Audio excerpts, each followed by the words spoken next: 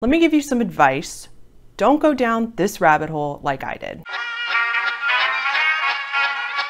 Hey humans, welcome back to my channel, or welcome if you've never been here before. Quick disclaimer for you all, if you clicked on this video, you obviously know what it's about, but I just wanna make double sure that you know the following stories are incredibly disturbing. I want to also say that remember that all of these stories happen to real people. These are real victims with real families, and so we definitely want to be very respectful to the fact that even though their deaths were incredibly strange, it is still an actual person who actually died. Hitoshi Nikaidoh was a doctor from Houston, Texas. He was in his 30s, and when he was at the hospital, he and a nurse were about to enter an elevator. The elevator doors open, and the nurse got into the elevator. Unfortunately, the elevator doors closed on Dr. Nikaidoh, and he got pinned in the elevator and ended up with his head on the inside and his body on the outside. Long story short, the doors closed, and he was completely decapitated. The nurse was unfortunately stuck in the elevator with his head for quite some some time until they were able to rescue her. In fact, she was hospitalized herself after that just due to the shock of this incident. Larry Ely Murillo Moncada was a 25 year old man who worked in a supermarket in Iowa. His family reported him missing in 2009. He left the house and apparently went to the supermarket, but was never seen again. Everyone was looking for him. His family did exactly what people do when their loved one goes missing. They put up flyers, all everybody was talking about it. They were filing reports. They were trying to figure out what happened to their son they never found his body. That is until 2019, 10 years later. He was very close by the entire time. It turns out that he was at the supermarket the whole time. He had assumably climbed up a very large cooler and he fell between the 18 inch gap between the wall and the cooler and fell about 12 feet down. He died there because they think the coolers were so loud that when he tried to cry for help, nobody could hear him. So he got stuck there, he died there, and they found his body 10 years after he disappeared. No foul play, he was just found like that, and it was just a really tragic accident.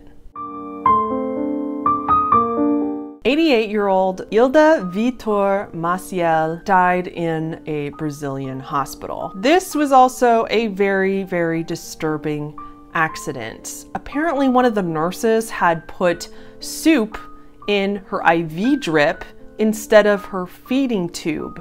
So, soup got injected into her veins, and poor Ilda died a few hours later. Ravi Subramanian was part of the Air India ground crew. He was standing really close to one of the planes one day, and the co pilot on the plane mistook one of his signals for a start engine signal, and that is not what he was signaling. The co pilot started the engine, and Ravi was extremely close to it, and he got sucked into the jet engine. Fortunately, he died instantaneously. He died very quickly. But that one has got to give you the chills. Elena Lena Struthers Gardner, a 60 year old woman, was carrying one of those mason jar glasses with the lid on it, the screw on lid, into her kitchen when she accidentally collapsed. This glass had a 10 inch steel straw held up in the glass, and unfortunately, she fell on it. It stabbed her in the left eye, went all the way through, and pierced her brain. And that is how poor Lena died. Elizabeth Isherwood was a 60 year old woman who was staying at her villa that she rented. In the middle of the night, she walked naked into her airing cabinet.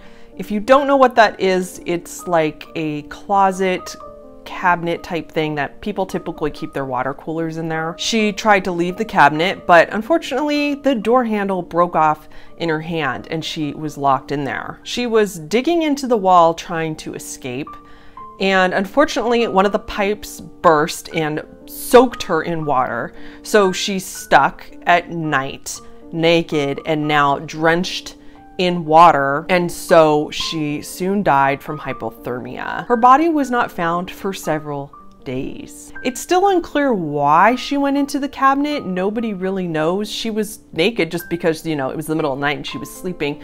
Some people think she just took a wrong turn when she was returning from the bathroom, or maybe she was trying to go to the bathroom and just ended up in there by accident, or she was very groggy. The creepiest part about this story, though, is that she actually made a lot of headway burrowing into the wall. And she actually created a hole large enough to crawl through, but unfortunately, she didn't realize that the thing covering the wall was just a picture that was screwed to the wall. So she actually could have escaped, but in her panic, she didn't realize that she was very close to freedom. That one's upsetting. Thank you for making it this far into the video. If you liked it, please give it a thumbs up. If you haven't already, please subscribe to my channel if you want more videos on creepy and disturbing things from around the world. I'll see y'all in the next one.